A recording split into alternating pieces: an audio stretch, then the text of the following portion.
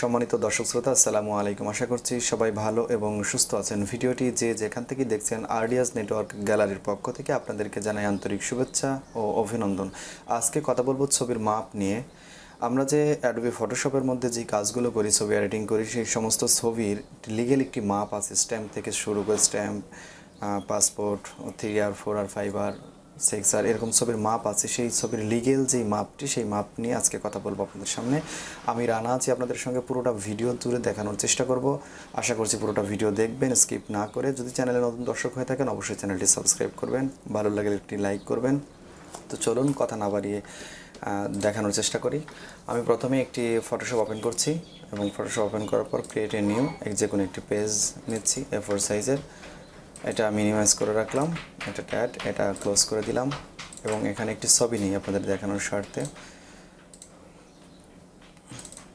ধরুন এই ছবিটা আমরা নিলাম। এই ছবিটা এইটার মাপের ছবিটা করা আছে। তো এই ছবিটা যদি ছোট করি তাহলে ক্লিয়ার থাকবে। যদি এইটার থেকে বড় করি তো ক্লিয়ার থাকবে না। তো ক্লিয়ারের প্রয়োজন নেই। আপনি আমাদের শুধু মাপটা দেখানোর চেষ্টা করছি। তো প্রথমে আমরা দেখানোর চেষ্টা করছি যে এটা স্ট্যাম্প সাইজ থেকে শুরু করব। স্ট্যাম্প সাইজ হচ্ছে মিলিমিটার মাপ। এটা এটা দেওয়া থাকবে আপনারা ইনস্টল দেওয়ার পর। এটা দেওয়া থাকলে এখানে দুইটা ঘর থাকবে।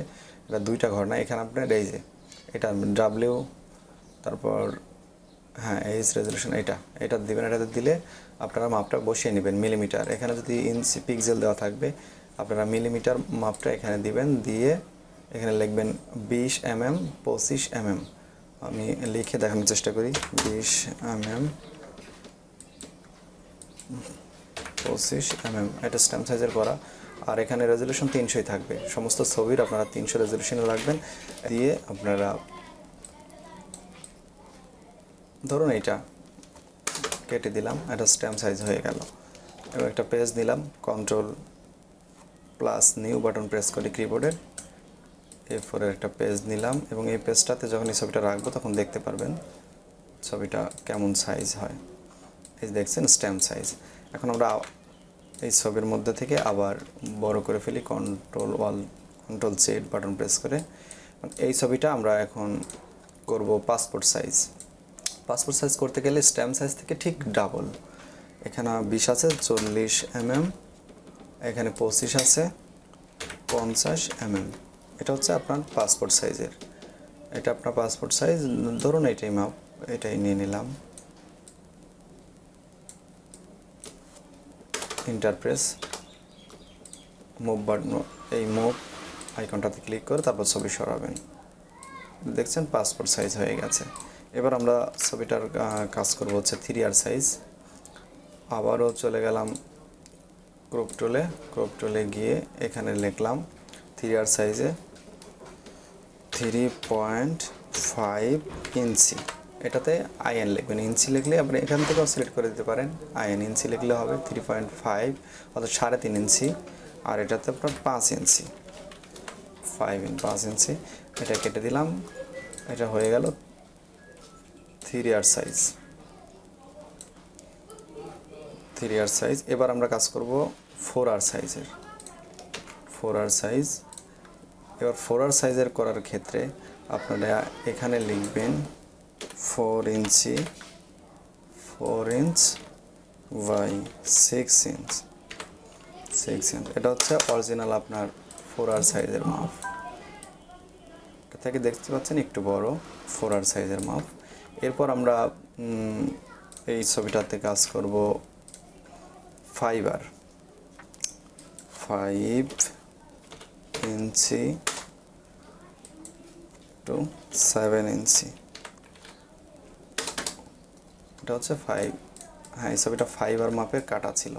এটা ফাইবার এবার আমরা ছবিটার কাজ করব। আপনারা লিখে নিতে পারেন সবগুলো।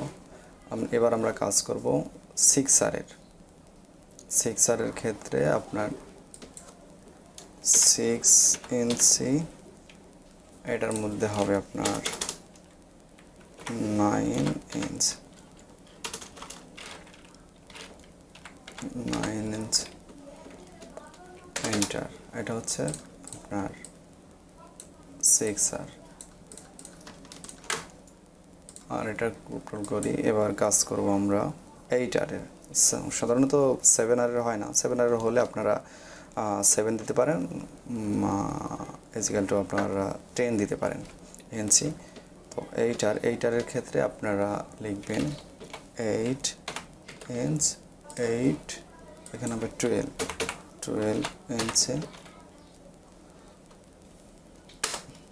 এটা হচ্ছে এইটার।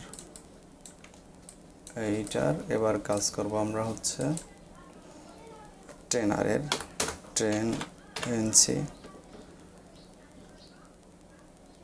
দশ বাই বারো হ্যাঁ এইটাই। টেন ইঞ্চিটা হচ্ছে আপনার টেনারের ক্ষেত্রে হচ্ছে টেন ইঞ্চি বাই টুয়েলভ এটা আপনার টেন ইঞ্চি টেনার ফটো।